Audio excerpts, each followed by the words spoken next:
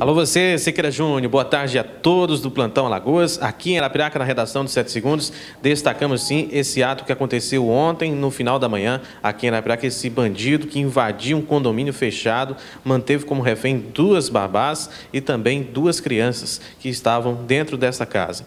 Informações da Polícia Militar dão conta que a segurança interna deste condomínio acionou o batalhão aqui pedindo reforço e ajuda, já que ele mantinha as vítimas como reféns. Após muita, muita negociação e diálogo com o acusado, ele resolveu se entregar. Esse que você acompanha nas imagens é Jennifer David Ferreira, de 22 anos. Ele foi convencido a se entregar. Ele é acusado em vários arrombamentos a residências aqui em Arapiraca.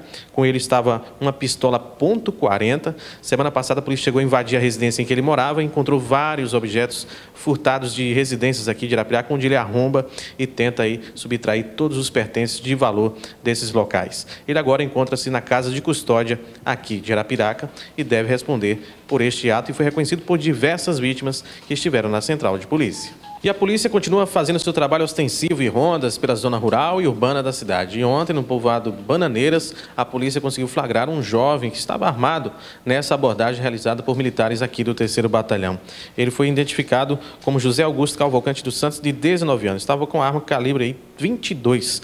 Os militares encaminharam ele aqui para a central de polícia de Arapiraca, que fica no bairro Baixão. Ele não quis dizer para que estava usando essa arma, se era para se defender ou se para a prática de assaltos, já que a região tem vários vários registros de ataques, é, de roubo de motos e ataques a coletivos que fazem a linha para aquela comunidade, que é um distrito muito grande aqui na zona rural de Arapiraca. Olha, Siqueira, nossa última informação vem de São Sebastião, município aqui da região metropolitana do Agreste. Quatro homens armados em duas motocicletas invadiram na tarde de ontem a agência dos Correios da cidade, renderam todos os clientes e funcionários e fizeram arrastão. Levaram dinheiro, joias, celulares, a arma do vigilante e até o colete balístico. Os bandidos conseguiram fugir rapidamente usando uma estrada que dá acesso ao município de Feira Grande. A polícia tentou ainda localizar os criminosos, mas não obteve êxito. O grupo conseguiu fugir levando dinheiro e os pertences das vítimas, além disso, o colete balístico e a arma do vigilante.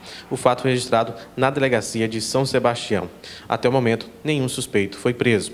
São com essas informações finalizamos nossa participação de hoje aqui dentro do Plantão Lagoas. Agora segue com você, Siqueira Júnior.